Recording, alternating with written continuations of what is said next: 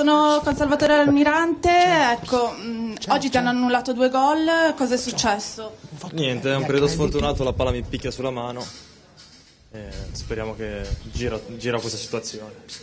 Ecco, è un peccato non aver approfittato della superiorità numerica.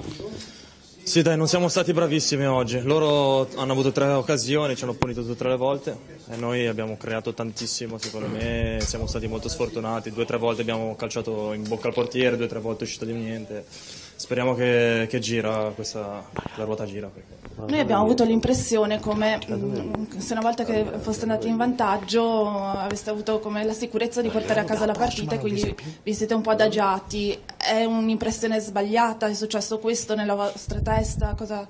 Guarda, non lo so sinceramente, noi cerchiamo di lavorare sempre al 100% e anche in campo cerchiamo di dare il 100% di tutte le partite fino all'ultimo minuto.